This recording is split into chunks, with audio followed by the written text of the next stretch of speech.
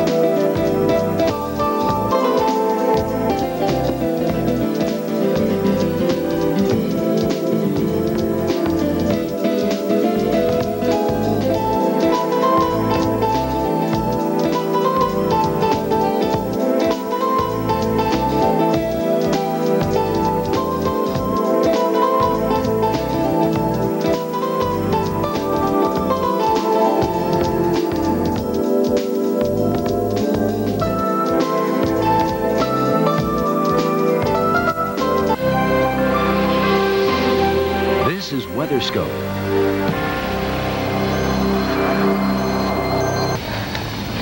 Well, thanks so much for joining us here at the Weather Channel. Rich Johnson here at Jeanetta Jones. Essentially, uh, what we're looking at is a mess on the west coast, but Yeah. that storm is let up. Our story is now focusing to the eastern United States. Yeah, we have a mess on the East Coast too. It's just a mess in a lot of locations. Let's take you to one of those locations right now, and that is in North Carolina. You had a wet commute to work this morning in Elizabeth City, North Carolina. That's in the northeast corner of the state.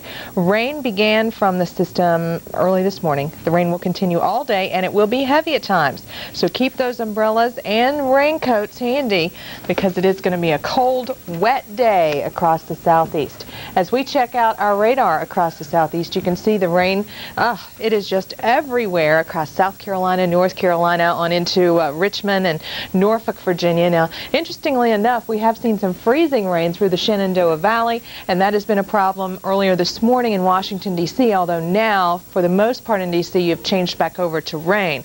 But it's been a mess for a lot of locations. In Atlanta, no freezing rain, but heavy, steady rain has been falling. And we've been seeing all kinds of problems around the perimeter.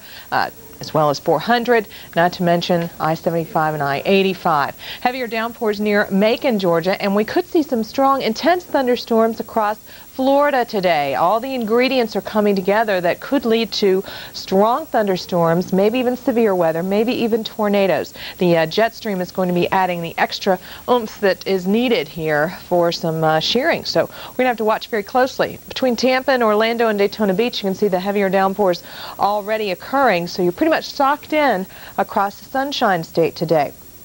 Also want to remind you we have flash flood watches in effect. I'll tell you, it is a messy day and we've already seen entirely too much rainfall here.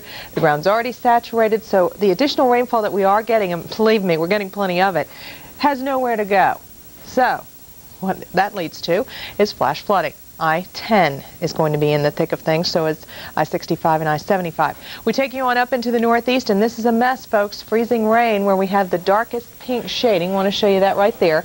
Then we have a mix of some sleet and rain, some sleet and freezing rain and rain, that kind of thing. Then we have snow to the north of that what we're anticipating through the midnight hour. Uh, oh, it's going to be a mess on I-95 west of I-95 right now, that's where we're seeing the freezing rain, freezing precipitation, pretty much west of the cities of Baltimore, Philly, and D.C. So it's going to be a mess if you're uh, traveling into any of those areas because if you're not seeing freezing rain, chances are you're seeing rain, and it's heavy at times. New York City has seen a little bit of light snow today, and now we're watching all of this moisture move into your direction. So just a mess, like I said. 25 in Boston, 34 in New York City, so not quite at the freezing mark yet. You factor in the wind, though, and it feels like 19, feels like 10 in Albany. So we've got some colder air uh, diving southward, and it looks like some places are, are going to see quite a bit of snow action out of this particular system as it continues to track northward. We'll have to watch that low. Timing is everything.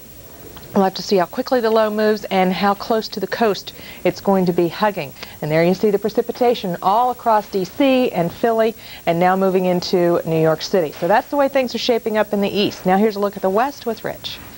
All right, thank you, Jeanette. Of course, the all-important question, where will the low go? That's what we'll check out in our forecast. Well, the east isn't the only place where conditions are unsettled. You're dealing with rough weather in the northwest as well. A series of storms continues to soak the region with heavy rain and mountain snow. Flooding is also a serious concern. These pictures are from Johnson Creek in southeastern Portland.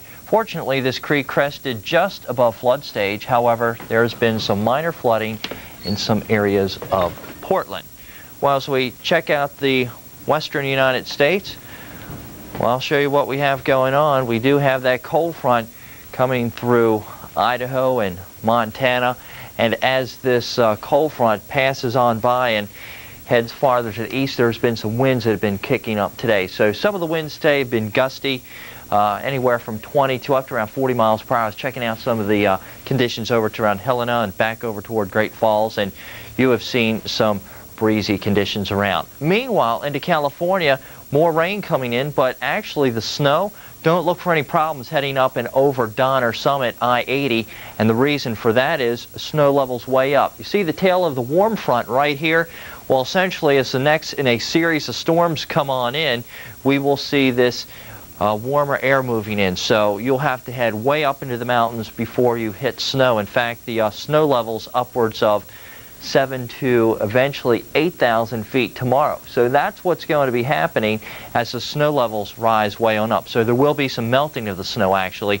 Down into the Bay Area, it's raining, some locally heavy showers. Also into the San Joaquin Valley and the Sacramento Valley, we have some rain showers. Much farther to the north, up to around Snoqualmie Pass, I was checking out the latest readings, and what we have over toward uh, the northwest is temperatures into the 40s. 43 in Seattle. It is below freezing up at Snoqualmie Pass, but essentially what we see is most of that rough weather blasting on by. It is sort of cloudy in the west, though, isn't it? Mm-hmm. Well, as we check the rest of the west, here's the radar. You get the idea. Few spritzels of rain out there. Snow into the mountains, but should be pretty